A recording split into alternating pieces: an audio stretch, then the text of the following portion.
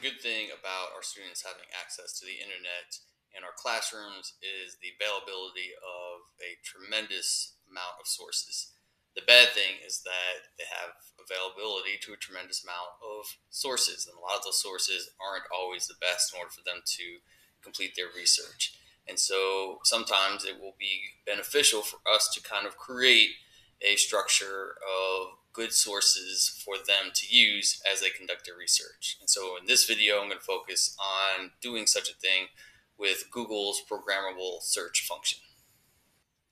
Okay, so if you go in and type basically Google programmable search engine, you'll get to a screen where you'll be able to create a search engine and add websites that you want your students to specifically get their information from.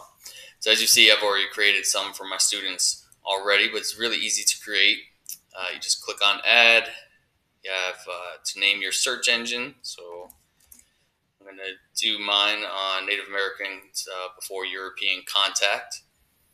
And then what do I want them to search? So specific sites or pages. And all I'm going to do is just go to the websites that I want them to use in their research. So for example, we're just going to copy and paste these websites click on add, and we'll add the site.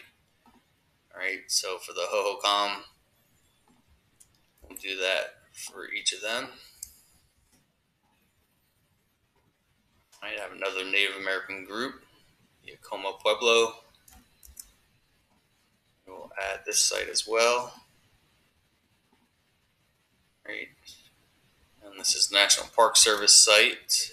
So this is a good source for my students to get information on these Native American groups. I also have uh, the Britannica Encyclopedia. I'll want them to use. Right, we have a couple in there, so I'll just do it for each of the pages that I want them to focus on.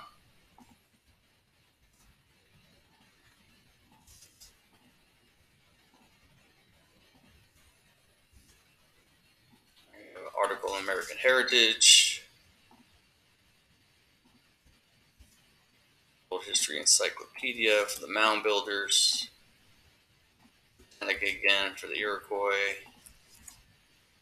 I usually try to do two or maybe three websites um, for each one that I would like them to, to go ahead and search information on.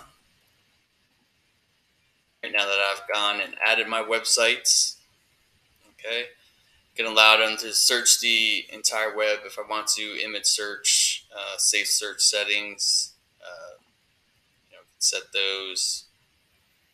All right, click I'm not a robot, and then I can click on create. All right, and just like that, I now have my search uh, engine created. All right, in which they'll only be able to um, search those specific websites that we've added to this search engine.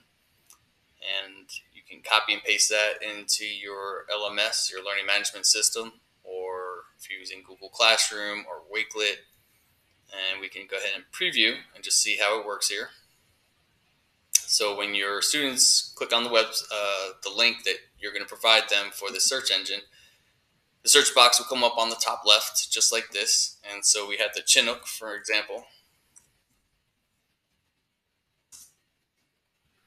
Right, and here's the two sources that I wanted them to look for.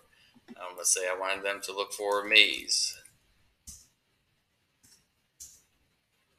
Right, here's all the websites that I put in there that come up with maize. Okay, so they'll be able to do their research on the specific websites that you want them to look at so you have some control over the information that they'll be accessing, kind of limits the uh, sources of information that they're going to be looking through and provide kind of a little bit more structure to their research as they really start to develop those skills on learning to use good sources and what exactly they're trying to do with their research.